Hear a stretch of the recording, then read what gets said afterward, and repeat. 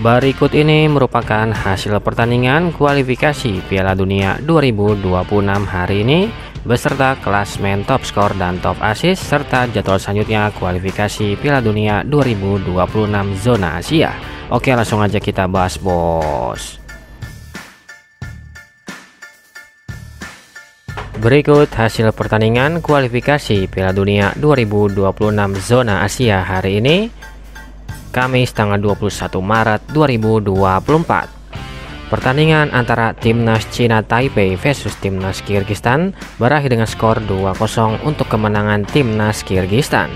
Pertandingan antara Timnas Pakistan versus Timnas Jordania berakhir dengan skor 0-3 untuk kemenangan Timnas Jordania. Pertandingan antara Timnas Australia versus Timnas Lebanon berakhir dengan skor 2-0 untuk kemenangan Timnas Australia. Pertandingan antara Timnas Jepang versus Timnas Korea Utara berakhir dengan skor 1-0 untuk kemenangan Timnas Jepang. Pertandingan antara Timnas Korea Selatan versus Timnas Thailand harus puas bermain imbang dengan skor akhir satu sama. Pertandingan antara Timnas Myanmar versus Timnas Suriah harus puas bermain imbang dengan skor akhir satu sama. Pertandingan antara Timnas Hong Kong versus Timnas Uzbekistan berakhir dengan skor 0-2 untuk kemenangan Timnas Uzbekistan. Pertandingan antara Timnas Singapura versus Timnas Cina harus puas bermain imbang dengan skor akhir 2 sama. Pertandingan antara Timnas Indonesia versus Timnas Vietnam berakhir dengan skor 1-0 untuk kemenangan Timnas Indonesia.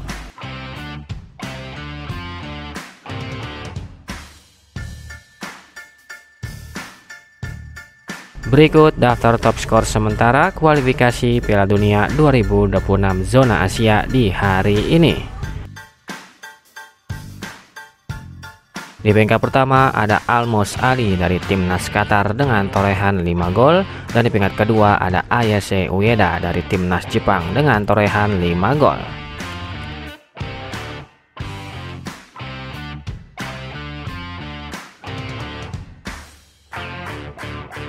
Berikut daftar top asis sementara kualifikasi Piala Dunia 2026 zona Asia di hari ini.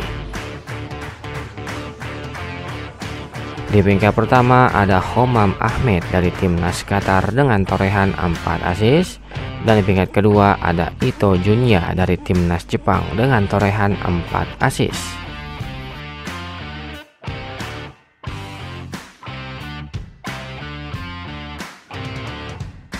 Berikut daftar klasemen sementara kualifikasi Piala Dunia 2026 zona Asia di hari ini.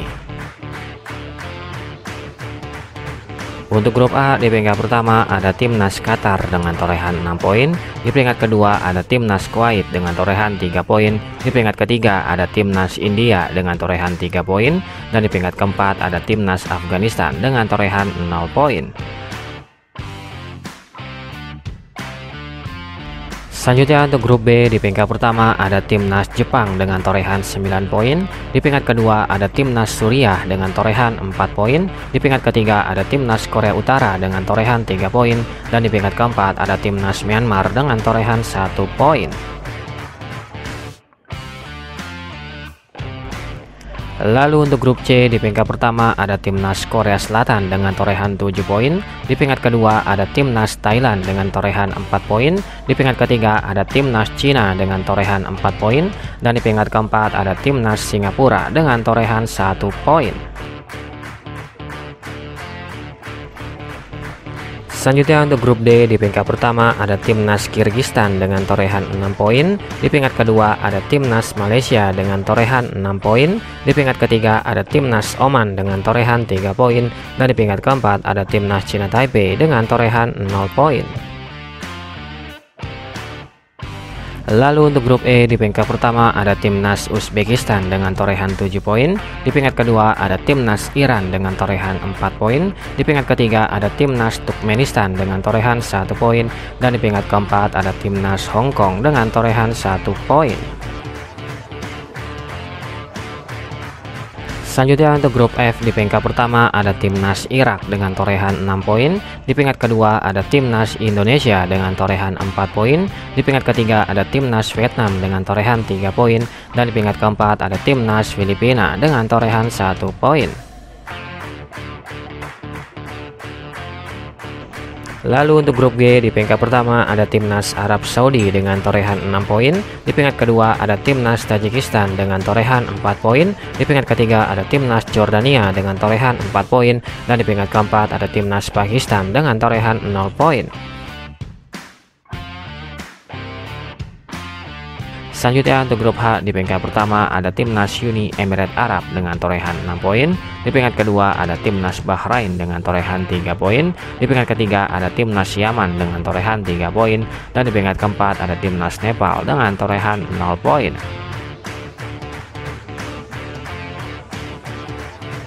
Dan yang terakhir untuk grup I di peringkat pertama ada timnas Australia dengan torehan 9 poin, di peringkat kedua ada timnas Lebanon dengan torehan 2 poin, di peringkat ketiga ada timnas Palestina dengan torehan 1 poin, dan di peringkat keempat ada timnas Bangladesh dengan torehan 1 poin.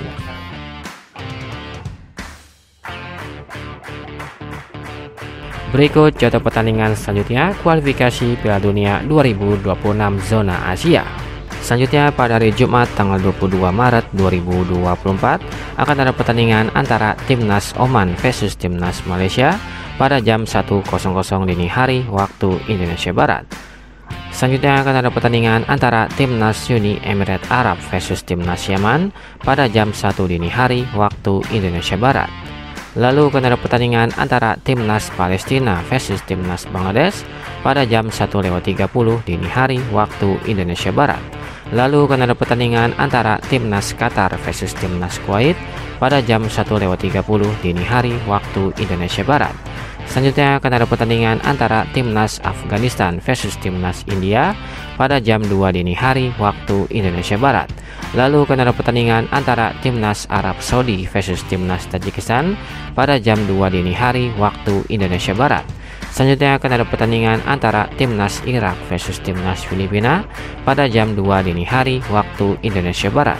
Dan akan dilanjutkan dengan pertandingan antara timnas Nepal versus timnas Bahrain pada jam 2 dini hari waktu Indonesia Barat. Pada hari Selasa tanggal 26 Maret 2024 akan ada pertandingan antara timnas Vietnam versus timnas Indonesia yang akan digelar di Stadion Nasional Maidin Vietnam pada jam 19.00 waktu Indonesia Barat live di ECTI dan ECTI Plus.